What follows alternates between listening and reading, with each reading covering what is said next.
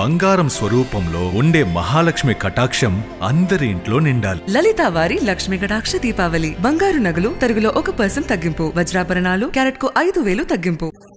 నన్ను ఒక రాజకీయాలకు నాయకురాలుగానో లేకపోతే రాజకీయాలకు సంబంధించిన వ్యక్తిగానో మీ అక్క అనుకోండి మీతో కలిసి మన సమాజాన్ని బెటర్ చేయడానికి ప్రయత్నిస్తున్నాను అనుకోండి ఈ ఎలక్షన్లలో వైఎస్ఆర్ తెలంగాణ పార్టీ పోటీ చేయబోవటం లేదు.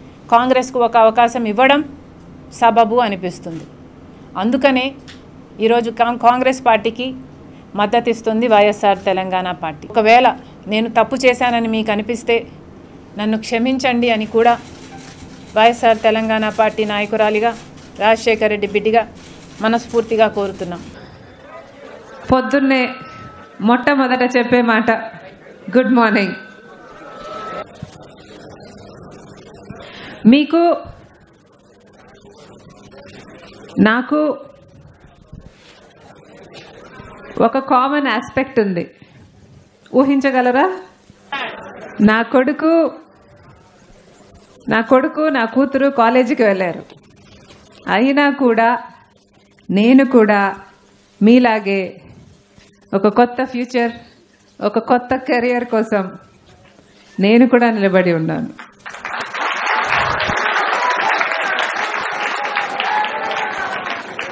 I wish you all the very best మీ అందరూ మంచిగా ఉండాలి. God bless you all so నేను నన్ను ఒక రాజకీయాలకు నాయకురాలుగానో లేకపోతే రాజకీయాలకు సంబంధించిన వ్యక్తిగానో చూడకండి. Because I'm not a politician at least not at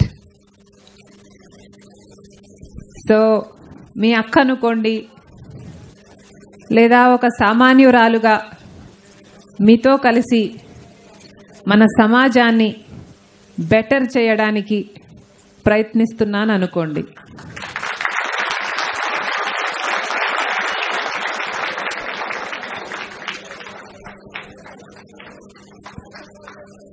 ఒక్కసారి రాజశేఖర్ రెడ్డి గారిని గుర్తు చేస్తా.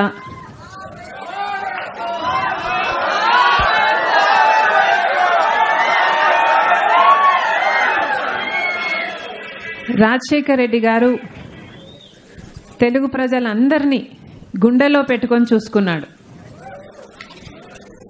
విద్యార్థులనైతే ఏ ఒక్క పేద విద్యార్థి డబ్బు లేని కారణంగా ఏ ఒక్కరి చదువు ఆగిపోకూడదు. అయ్యో నాకు డబ్బు లేదే నా పిల్లల్ని చదివించుకోలేనని ఏ ఒక్క తల్లిదండ్రి కానీ ఆ స్టూడెంట్ కానీ డబ్బు లేని కారణంగా చదువు ఆగిపోకూడదు అని ప్రతి పేద విద్యార్థికి వాళ్ళ తల్లిదండ్రులకి ఒక భరోసా కలిగించడానికి ఫీజ్ రీఇంబర్స్మెంట్ అనే పథకాన్ని ప్రారంభించాడు. ఆ పథకం ద్వారా కేవలం ఆ కుటుంబం వెయ్యి రూపాయలు కడితే ప్రభుత్వమే ఎంత ఫీజు అయితే లక్షైనా రెండు లక్షలైనా మొత్తం ఫీజు ప్రభుత్వమే భరించేది. ఆ విధంగా లక్షల కొద్ది విద్యార్థులు ఇంజనీరింగ్ డాక్టర్ ఎంబీబీఎస్ ఇట్లాంటి ఎన్నో చదువులు గొప్ప గొప్ప చదువులు ఉచితంగానే చదువుకొని ఈరోజు లక్షణంగా ఉద్యోగాలు చేసుకుంటున్నారు. కేసీఆర్ గారి మీద ఉన్న ఈ వ్యతిరేకత ఈ వ్యతిరేక ఓటును చీల్చొద్దని మళ్ళీ కేసీఆర్కు అవకాశం ఇవ్వొద్దు అని ఎంతోమంది మేధావులు ఎంతోమంది మీడియా హెడ్స్ కూడా మమ్మల్ని కోరటం జరిగింది.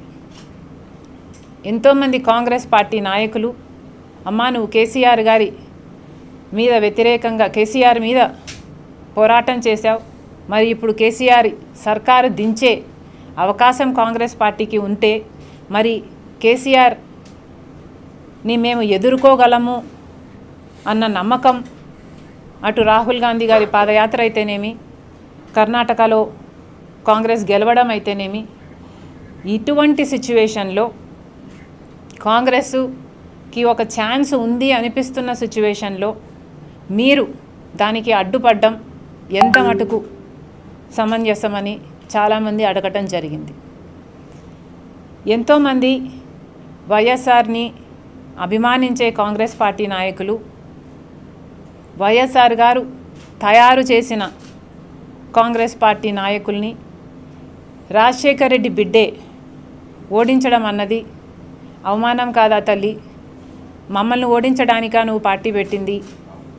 అని కాంగ్రెస్ పార్టీ వాళ్ళు ఎంతోమంది బాధపడడం జరిగింది.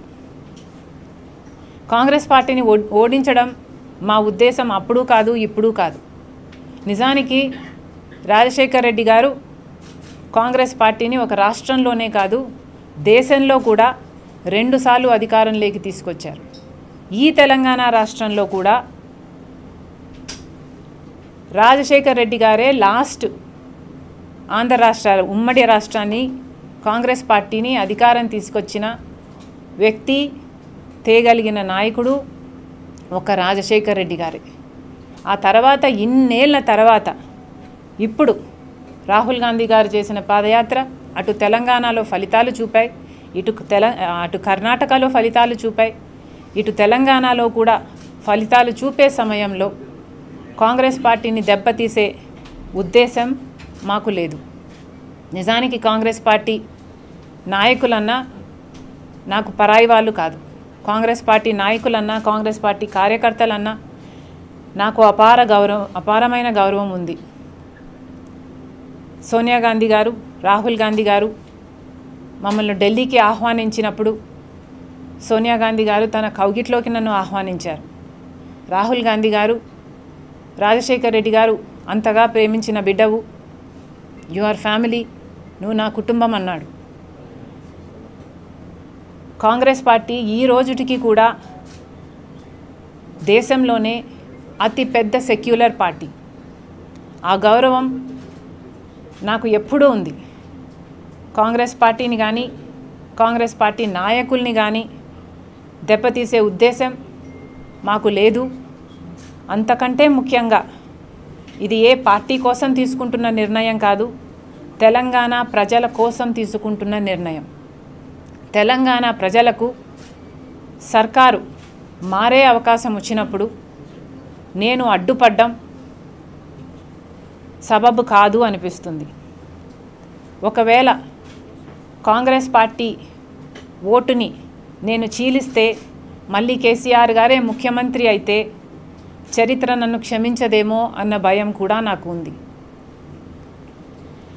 ఇవన్నీ దృష్టిలో పెట్టుకొని తెలంగాణ ప్రజలకు కేసీఆర్ నియంత అవినీతి అక్రమ పాలను అంతముచ్చే అంతం చేసే అవకాశం ఉంది కాబట్టి ఈరోజు కాంగ్రెస్ పార్టీకి మద్దతు ఇవ్వాలని వైఎస్ఆర్ తెలంగాణ పార్టీ నిర్ణయించింది. ఈ దిశగా వైఎస్ఆర్ తెలంగాణ పార్టీ తెలంగాణ ప్రజలకు చెప్తుంది ఈ ఎలక్షన్లలో వైఎస్ఆర్ తెలంగాణ పార్టీ పోటీ చేయబోవటం లేదు. చాలామందికి వచ్చే మొట్టమొదటి అనుమానం మరి కొన్ని రోజుల ముందే పది పన్నెండు రోజుల ముందే ఎందుకని నూట పంతొమ్మిది నియోజకవర్గాలలో పోటీ చేస్తారు అని చెప్పారు. మరి ఈలోపు ఏమి మార్పు జరిగింది? ఈలోపు ఎందుకు మీ నిర్ణయం మారింది? అని చాలామంది నన్ను అడగొచ్చు. కానీ సమయము గడిచే కొద్దీ కొన్ని నిర్ణయాలు బలపడుతూ ఉంటాయి.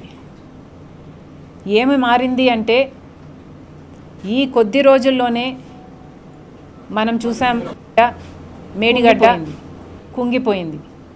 మేడిగడ్డ దస్కింది. కాళేశ్వరం ప్రాజెక్టు ఒక పెద్ద జోక్ అని కాళేశ్వరం ప్రాజెక్టు ఎంత ఘోరంగా ఎగ్జిక్యూట్ చేశారు అని మళ్ళొక్కసారి ప్రజల ముందుకు తీసుకొచ్చింది ఈ మేడిగడ్డ బ్యారేజ్. నిజానికి కేసీఆర్ గారు అపర మేధావి అని ఎనభై వేల పుస్తకాలు నేను చదివి అవతల పడేశానని చెప్పాడు. మరి వాటిలో ఇంజనీరింగ్ పుస్తకాలు ఉన్నాయో లేదో నాకు తెలియదు కానీ కాళేశ్వరం రీడిజైనింగ్ చేశాడు చేశానని చెప్పాడు కేసీఆర్ గారు. నా రక్తము నా డిజైను నా చెమట అని చెప్పిన కేసీఆర్ గారు మరి కాళేశ్వరాన్ని చూస్తే ఆయన పరిజ్ఞానం అర్థమవుతుంది ఆయన చిత్తశుద్ధి అర్థమవుతుంది. ఒక మేడిగడ్డే కాదు ఇటీవల మాట్లాడుతున్న విషయాలు కేటీఆర్ గారు టీఎస్పిఎస్సిని ప్రక్షాళన చేస్తాను అని చెప్తున్నాడు. మేము అడుగుతున్నాము అసలు నిరుద్యోగ సమస్య ఉంది అనే మీకు తెలియలేదు. మేము పోరాటం చేసేంత వరకు. మేము పోరాటం చేసి లక్ష తొంభై ఒక్క వేల ఉద్యోగాలు ఖాళీగా ఉన్నాయి అని చెప్తే మీరు ఏ రోజు దాన్ని లెక్క పెట్టలేదు. వ్రతాలు చేసుకుంటున్నారని హేళన చేశారు. తీరా మేము అన్ని దీక్షలు చేసి అంత పోరాటము చేశాక నోటిఫికేషన్లు ఇస్తే నోటిఫికేషన్లు ఇచ్చినప్పటి నుంచి ఎగ్జామ్ పేపర్ లీకులు ఎగ్జామ్ రద్దులు మళ్ళీ వాయిదాలు. అసలు టీఎస్పిఎస్సిలో ఇంత ఘోరం జరుగుతుంది యాక్షన్ తీసుకోండి అంటే ఆ రోజు కే కేటీఆర్ గారు చెప్పిన మాట టీఎస్పిఎస్సి చాలా ట్రాన్స్పరెంట్గా నడుస్తుంది చాలా అద్భుతంగా నడుస్తుంది వాళ్ళ తప్పేం లేదు అని చెప్పారు. నిజానికి ఐటీ మినిస్టర్గా సిస్టమ్స్ సెక్యూరిటీ ఫిల్టర్స్ కూడా లేకుండా సెక్యూరిటీ ఫైర్ వాల్స్ కూడా లేకుండా అంత ఘోరంగా పేపర్లు లీక్ అయ్యాయి అంటే నిజానికి బాధ్యత వహించాల్సింది ఐటీ శాఖ ఐటీ మంత్రి. ఆయన పదవి ఎక్కడ పోతుంది ఆ రోజు కేటీఆర్ ఆ రోజు కేటీఆర్ గారు చెప్పిన మాట ఏ తప్పు లేదు టీఎస్పీఎస్ ఇది అని. కానీ ఈ రోజు చెప్తున్న మాట ప్రక్షాళన చేయాలి అని.